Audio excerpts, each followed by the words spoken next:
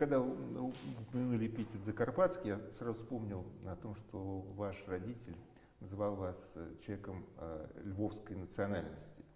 Ну, имея в виду, вот, что вы из Львова, и вот выросли там, и вот усвоили все, что культуру вот эту э, Западной Украины. Львов вообще не Западная Украина, это абсолютно отдельная как бы цивилизация.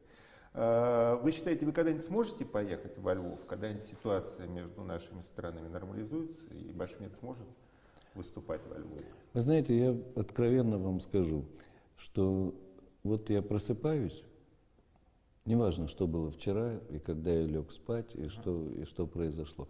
Я просыпаюсь, и вместе с этим моим просыпанием э, возобновляются какие-то ценные для меня, очень ценные по жизни каждый день. Я вспоминаю о своем учителе, я вспоминаю не потому, что я хочу это делать, угу. да, а это происходит вместе с первой чашкой кофе, угу. сигаретой. Я вспоминаю маму, папу, дедушку, брата, учителя, э, Ростроповича, Рихтера, Спивакова, Третьякова, э, Наташу Гутман. Вот почему-то у меня это каждый день заново все, как бы это мои ценности самые главные. Вот, вот они просыпаются вместе со мной, потому что я жив.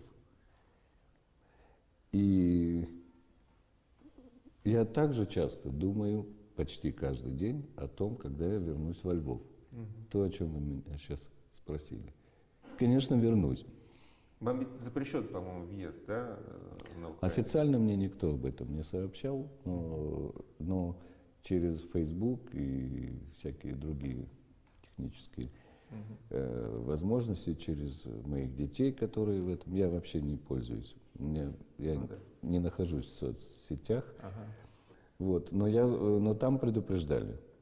Угу. Просто очень серьезно, что вообще убьют. Но, э, например, знаменитый был несколько лет назад, после Крыма, крымская история, угу. а в Европе все заговорили о том, что меня исключили из состава почетных профессоров Львовской музыкальной Вы об этом не знали, что академии. И, и я благодаря этому узнал, что я им был. На самом деле я, мне никто ничего не вручал и не сообщал. Но когда они меня исключили, я, я узнал, что я им был. На самом деле там у меня никакой обиды нет, я их очень хорошо понимаю.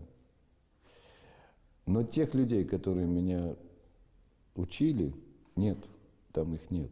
Там даже нет моих одноклассников. Но я уверен, что я туда приеду. Это удивительный город. Э, это не Австрия, не Польша, не Венгрия. Да, это Львов. Это абсолютно и не Зальцбург. Это абсолютно отдельная потрясающий оазис культуры. И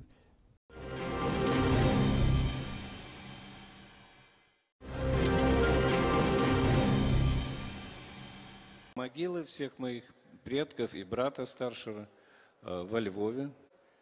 Конечно, хочется самому там побывать. И верю ли я, что такое время наступит? Верю. Потому что когда мы победим, все будет уже налаживаться.